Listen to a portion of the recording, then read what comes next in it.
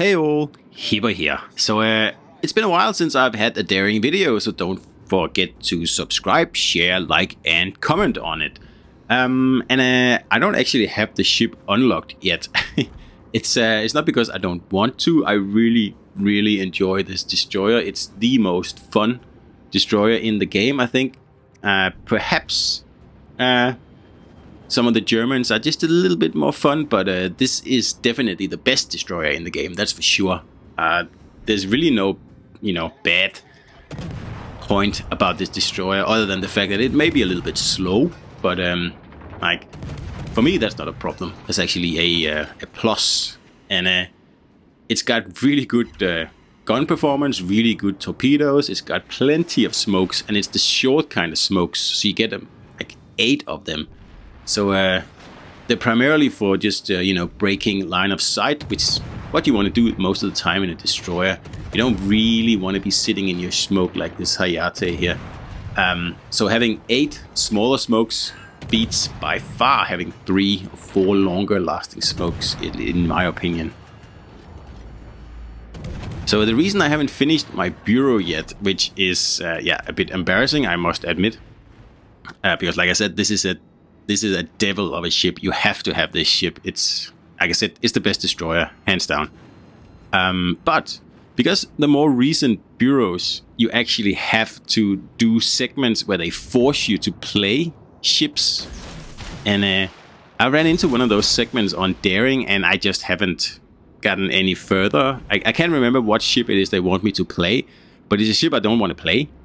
And um, yeah, I, that, that just got me stuck. I think it's the fourth segment or something like that. So uh, if I was just able to do the research as usual, uh, I would have researched this ship here a long time ago. But because I'm stuck on that segment there that I refuse to do, uh, I mean, the Bureau is already really, really terrible.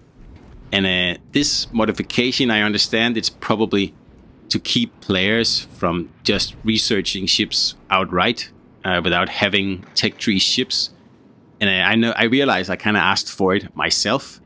Um, but wow, it's annoying. Uh, I hate being forced to play ships I don't want to play. So uh, that's the main reason that I don't play some of the game modes in the game because, uh, for example, um, arena and yada yada whatever, like they always force you to play ships, like a certain ship, and I don't get to play this game as much as I want. So when I play it, I want to play the ships that I like to play not ships that Wargaming for some odd reason tells me to play. And uh, yeah, that's just my opinion. And uh, so far, I haven't budged. And uh, I don't think I'm going to ever budge. So I probably won't ever get daring. so uh, I did the video back when the CCs were given the ship for, I believe, two weeks. And uh, I played a whole lot of battles in the ship here. And I had a great time. And uh, it kind of, it kind of, you know, saddens me that I don't have it as a daily, you know, ship. Uh, but uh, I guess that's just, you know, the price you have to pay to keep some potatoes out of legendary ships. And uh, if that's what I if that's what I gotta do, then I guess I'll accept that. And perhaps I should just do those stupid missions and get this ship in my roster because as I'm watching this video here and talking, I really feel like playing Daring again. So uh, let's see what happens. I could also wait until we get a Commonwealth destroyer. For example, the Vampire 2, which uh, actually happens to be sitting right here in Sydney. Um, that would be nice because that is a daring class and uh, it's a little bit different. So uh, that could happen, or I guess it could not happen. So uh, I guess we'll see what happens uh, in the future. And I probably should just do my bureau and stop, you know, complaining. But uh, I just think it's so annoying. I have to I have to play ships I don't want to play.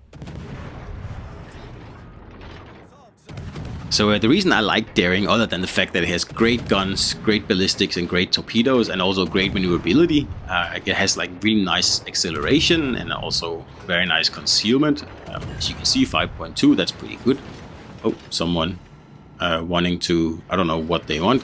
And see how they reset me there? That was uh, that's perfect play right there. Luckily, it doesn't really mean that much in this battle here.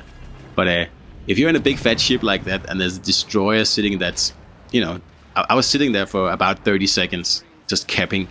And uh, if you can't figure out that you probably shouldn't draw fire on a destroyer like that when he's just about to cap, that's uh, a mistake.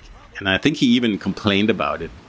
And I don't know, did he want to get into my smoke or what was the whole point of that maneuver there? But because it looked like he got sunk right after uh, resetting me or causing me to be reset.